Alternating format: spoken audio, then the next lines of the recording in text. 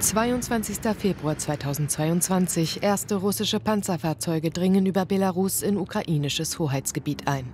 Am Vortag hatte Wladimir Putin die prorussischen Separatistengebiete Luhansk und Donetsk als unabhängig anerkannt.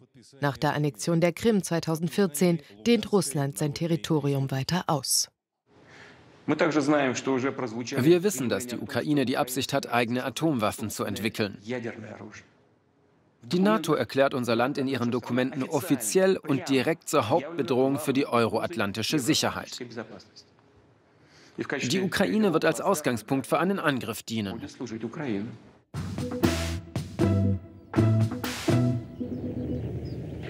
Wladimir Putins Versuch eines Blitzkrieges, mit dem er die Ukraine angeblich entnazifizieren und die NATO zurückdrängen will, scheitert. Und doch hält die russische Front stand, auch 20 Monate später.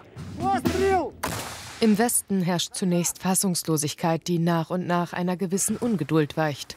Weder die massive militärische Unterstützung für Kiew noch die internationalen Sanktionen können Moskau zum Rückzug bewegen. Doch auch die ukrainischen Streitkräfte halten ihre Stellungen. Die im Juni 2023 gestartete Gegenoffensive Kiews ist allerdings weitgehend wirkungslos. Die Situation ist festgefahren. Eine Niederlage der Ukraine ist Stand heute nicht auszuschließen. Was wäre, wenn Russland seinen Angriffskrieg gewinnen würde? An der Front geht es weder vor noch zurück. Die ukrainischen Streitkräfte kommen quasi nicht mehr vorwärts. Die russische Armee hält ihre Stellung. Doch die Verluste sind hoch. Nach Schätzungen des US-Generalstabs haben beide Seiten seit Kriegsbeginn fast 200.000 tote und verwundete Soldaten zu beklagen. Ein Ende des Blutvergießens ist nicht in Sicht und auch kein Sieg, weder für die Ukraine noch für Russland. Die Russen haben ihre Probleme in den letzten zwei Jahren nicht gelöst. Ihre Kriegstaktik ist dieselbe wie im Zweiten Weltkrieg. Schlecht ausgebildete Truppen werden losgeschickt mit der Drohung, dass jeder, der desertiert, erschossen wird. Das ist nicht gerade das, was man eine moderne Armee nennt. Und sie haben nach wie vor ein Koordinationsproblem. Die russische Artillerie ist sehr ungenau, die Munition ist von schlechter Qualität und die Ausrüstung stark abgenutzt. Putin ist es zwar gelungen, einen signifikanten Frontdurchbruch zu verhindern, das stimmt, aber die Ukraine hat 50 Prozent der besetzten Gebiete zurückerobert. Die NATO wirbt unterdessen bei ihren Verbündeten für weitere Unterstützung der Ukraine. Auch wenn sich die Frontlinie nicht bewegt hat, die Ukraine hat den russischen Invasoren schwere Verluste zugefügt. Trotz der hohen Opferzahlen verstärkt Russland seinen Angriff noch. Die russische Rüstungsindustrie befindet sich im zweiten Jahr in Folge im Aufschwung. Die Militärausgaben für das Jahr 2024 sollen sich auf rund 106 Milliarden Euro belaufen. Ein Anstieg im Vergleich zum Vorjahr von 70 Prozent. Das ist die Bestätigung dafür, dass Russland auf eine Kriegswirtschaft setzt.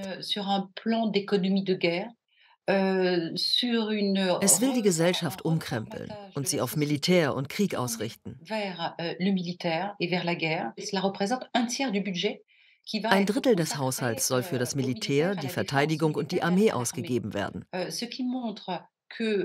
das zeigt, dass Putins Vision für das aktuelle und zukünftige Russland ein hochmilitarisiertes Land ist. Also ein sehr euh, gefährlicher, äußerst kriegerischer Staat. Euh, euh, Moskau hat trotz der internationalen Sanktionen die Mittel, um seine Vorhaben zu finanzieren. Vor allem durch Ölexporte nach China kann das Regime die Verluste durch die Embargos auf dem europäischen Markt ausgleichen. Auch an der diplomatischen Front versucht Wladimir Putin wieder die Oberhand zu gewinnen. Auf dem letzten virtuellen G20-Gipfel inszeniert er sich als Verfechter des Friedens. Selbstverständlich sind kriegerische Auseinandersetzungen immer eine Tragödie. Es geht um das Leid von Menschen, Familien und Ländern. Und wir müssen Wege finden, diese Tragödie zu beenden. Übrigens hat Russland Friedensverhandlungen mit der Ukraine nie abgelehnt. Die Fronten sind festgefahren. Joe Biden, der wichtigste Verbündete der Ukraine, konzentriert sich auf die US-Präsidentschaftswahlen 2024. Die internationale Gemeinschaft hat sich dem israelisch-palästinensischen Konflikt zugewendet. Seit Putin 1999 an die Macht gelangt ist, beweist er sein Talent dafür, den richtigen Zeitpunkt zu wählen. Wladimir Putin choisit le moment. Äh, Wladimir Putin hat sich einen Moment ausgesucht, in dem die Ukraine sich in einer schwierigeren Situation befindet als im letzten Jahr oder zu Kriegsbeginn. Er nutzt diesen Moment, euh, um sich selbst als friedliche Person darzustellen. Und die Ukraine als die kriegerische Partei. Das ist ein geschickter Kommunikationstrick. Um Russland als friedliches Land zu inszenieren. Putin unterstreicht auch, der Ukraine mangele es an vielem. Euh, an der Front fehlt es der Ukraine an Einsatzkräften. Euh, Die verbündeten Länder liefern zwar weiterhin Unterstützung und materielle Hilfe, aber es fehlt an Einsatzkräften, um sie zu verwenden. Doch Beobachter berichten, dass es auch auf russischer Seite an Einsatzkräften mangelt. Auf internationaler Ebene nennt sich der größte Feind der Ukraine wohl Kriegsmüdigkeit. Wohl deshalb mahnt die NATO regelmäßig, Kriege können lange dauern, aber es gibt keine Alternative. Ein Sieg Russlands wäre nicht nur eine Tragödie für die Ukraine, sondern auch eine Gefahr für uns. Es wäre ein Zeichen an autoritäre Staatschefs, in Moskau wie auch in Peking, dass sie durch die Verletzung internationalen Rechts, den Einmarsch in andere Länder oder andere Formen der Gewalt erreichen können, was sie wollen. Da mit einem radikalen Politikwechsel nicht zu rechnen ist, sieht Leo Perignapigny den Einsatz von Waffen als notwendig.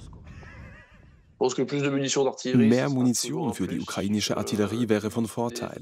Eine wirklich funktionierende Luftabwehr ist unverzichtbar. Es muss eine starke Luftwaffe geben, um die russische Luftabwehr auszuschalten, die den Einsatz von Kampfflugzeugen verhindert und um eine groß angelegte Operation durchführen zu können. Sie brauchen auch mehr Langstreckenraketen. Die Amerikaner haben schon ein paar Dutzend geliefert, aber sie haben mehr als 2000 Stück davon. Wenn sie ein paar hundert liefern könnten, könnte das Russland wirklich aus dem Gleichgewicht bringen. 20 Monate nach der russischen Invasion bereitet sich die Ukraine auf einen zweiten Kriegswinter vor, mit regelmäßigen Stromausfällen und massiven Drohnenattacken, die jedoch zum Großteil von der Luftabwehr gestoppt werden können. Die Hoffnung auf eine Verbesserung der Lage ist gering. Ich gehe davon aus, dass die Ukraine weiterhin mit der Unterstützung aus dem Westen rechnen kann, auch wenn Joe Biden euh, die kommenden Wahlen verliert. Euh, auch das republikanische Lager der euh, USA spricht sich nach wie vor für die Unterstützung der Ukraine aus, auch wenn diese Stimmen leiser sind als bisher und die finanziellen und militärischen Hilfsangebote kleiner ausfallen. Euh, Aber ich denke schon, dass die Ukraine auf die Unterstützung der Europäischen euh, Union und der europäischen Länder zählen kann. Und im Großen und Ganzen auch auf die der Vereinigten Staaten.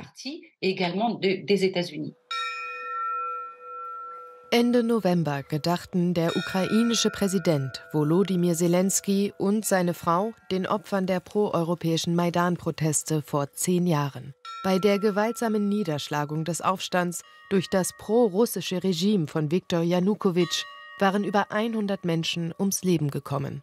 Die Brutalität des russischen Nachbarn hat sich seitdem weiterhin verstärkt.